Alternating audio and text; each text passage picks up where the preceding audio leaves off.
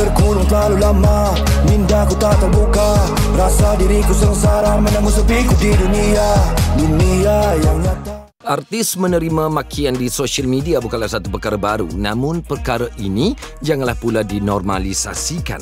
Terbaru pemenang juara lagu 35 iaitu Noki dari kumpulan K-Click telah berkongsi di Instagramnya tentang satu individu yang menghantar direct message dengan kata-kata kesat di Instagramnya. Selepas ini ada ataupun tidak hadiah baru buat peminat Noki di luar sana single terbaru ke? InsyaAllah pasal single tu memang Nokia dah target keluar single selepas AJL tapi mungkin akan diriliskan selepas raya InsyaAllah kalau tidak ada halangan. And then K-Click juga akan ada keluar movie InsyaAllah. K-Click The Journey InsyaAllah sebab benda tu dah confirm. Shooting akan start pada bulan 8 tahun ini. Lepas ni jadi pelakon lah korang pula macam tu. Ah, InsyaAllah. Mana tahu kan ada offer-offer lain Baru-baru ini juga Noki telah orang kata berkongsi di IG story you yang mana satu pihak ini yang orang kata mengeluarkan kata-kata kesat dekat you. Yang mana saya pun stalk jugalah kan. Kita pun ada komen Noki juga. Sibuk kan. Jadi mungkin yang mana dia mengeluarkan kata-kata macam banyak dekat situ kan. Macam Ah macam tu. Jadi komen you mengenai perkara tersebut. Kita mungkin anggap benda tu bergurau Kita DM seseorang ni dan kita maki-maki macam tu macam ni Tapi insyaAllah saya doakan kepada orang-orang yang berkelakuan sedemikian Saya doakan semoga diberi hidayat lebih awal insyaAllah Dan dipermudahkan segala urusan Kalau saya lihat kan akaun yang digunakan adalah akaun menggunakan nama seniman agung tanah air iaitu Allah Yarham P. Ramli. Komen you sedikit lah apabila orang yang menggunakan fake account ni bukan saja maki hamun malah menggunakan nama orang lain untuk maki orang. Sebaiknya fake account fake account tu itu terpulang kepada individu masing-masing untuk buat Nokia pun tidak boleh halang. Cuma kalau boleh janganlah pakai nama orang yang sudah tiada ataupun orang yang masih ada. Noki sendiri pernah tak selain daripada fake account itu pernah tak sebelum ni you menerima komen-komen ataupun DM-DM yang sebegitu yang memaki hamun yang mengeluarkan kata-kata kesat pada diri you? Sebenarnya sangat banyak. Secara jujur Noki cakap sangat banyak Masa ada isu yang dulu bergaduh tu pun. Ya Allah Beribu Noki dapat request DM tu. Yang orang maki Maki Maki. Noki pun macam It's okay lah Noki delete Delete Delete. Sampai tidak baca pun Noki cuma delete. Je Kerja Noki mendelete. First Noki mau sampaikan Ni adalah pesanan ni Kita memang nampak benda tu simple Tapi kita tidak tahu Orang yang kita cakap tu Penerimaan dia macam mana Kita tidak tahu Apa dugaan yang dia lalui Macam mana kehidupan dia Kita tidak tahu Penerimaan you pula bagaimana? Adakah orang kata you macam chill-chill je ke? Macam tengok hmm, delete, block dan sebagainya ke? Ataupun macam mana? Kadang terambil juga ke hati Kadang teremosi dan termarah juga Tapi Noki tidak reply lah kepada individu tu So mungkin Itulah ujian dia Salah satu ujian-ujian yang Noki perlu lalui Noki hadap lah InsyaAllah boleh Terakhir apa yang Noki ingin katakan kepada orang kata mungkin individu ataupun pihak tersebut saya pastikan beliau adalah orang yang mengikuti industri hiburan sebab bukan sahaja Noki malah orang kata artis-artis lain sebelum ni pun pernah kena dan juga secara peribadi wartawan-wartawan melodi pun mendapat daripada akaun yang sama. Perkataan kata-kata kesat macam